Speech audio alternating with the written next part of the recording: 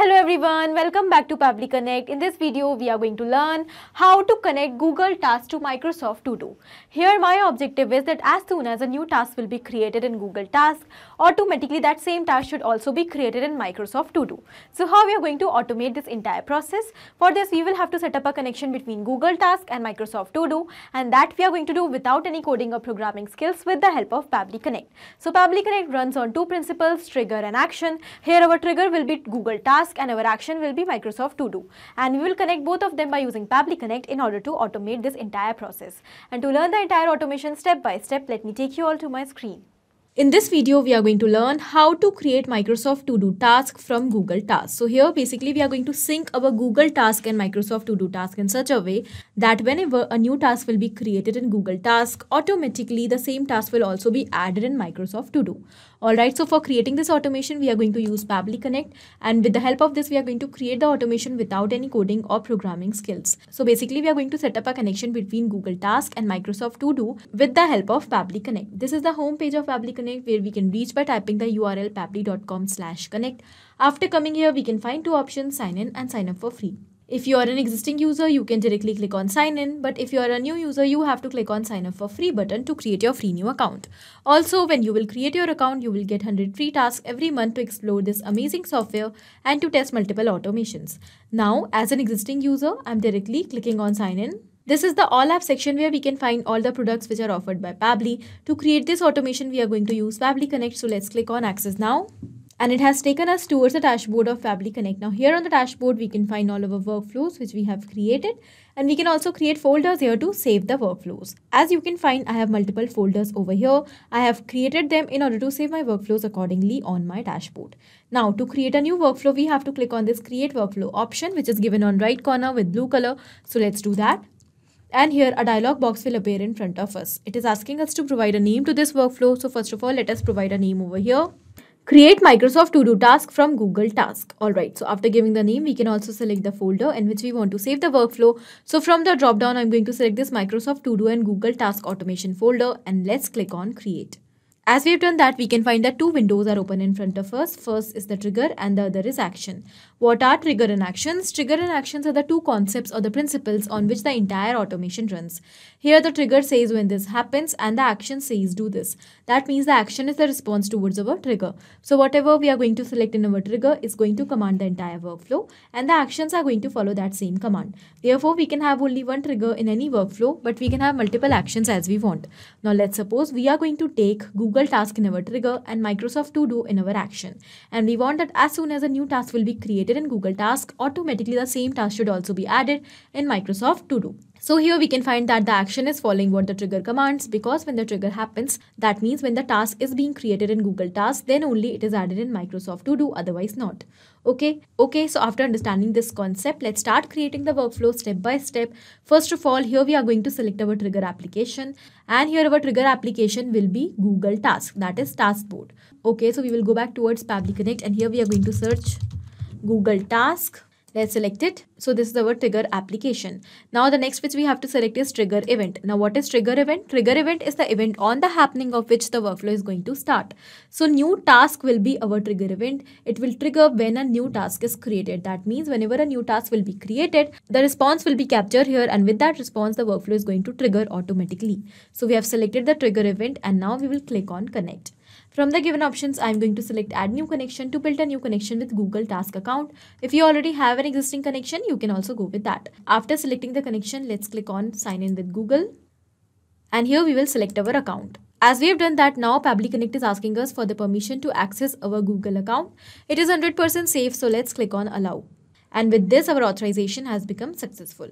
So now my Google task is successfully connected with Pabbly Connect and it is asking us to select the list on which the task is created. The response will be captured here in Pabbly Connect. So here I have only one list, my task. So whenever a task will be created in this particular list, the response will be automatically captured. So I have selected the list and now when we are going to click on the save and send test request button, we are going to receive the response of the last task added in Google Task. Because Google Task works on the polling time of 10 minutes, therefore it is going to capture the response in every 10 minutes.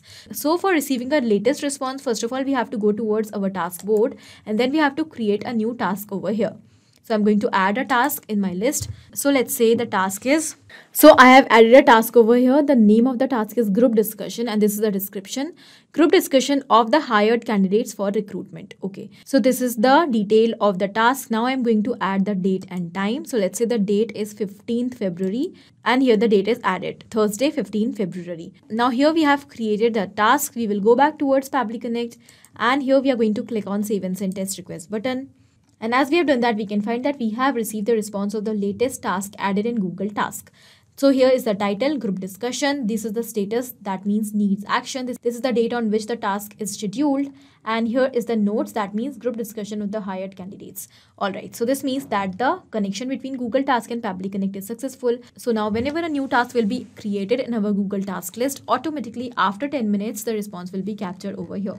So now we will move further and our objective is to add the same task in Microsoft To Do. For that we are going to connect our Microsoft To Do account with Pabbly Connect. So let's select our action application as Microsoft To Do.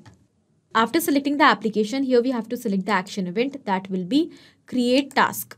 Okay, let's click on connect and now from the given options, once again, we are going to select add new connection to build a new connection with Microsoft To Do account. Now let's click on connect with Microsoft To Do button and here Pabbly Connect is asking us for the permission to access our Microsoft account. Let's click on accept as it is 100% safe.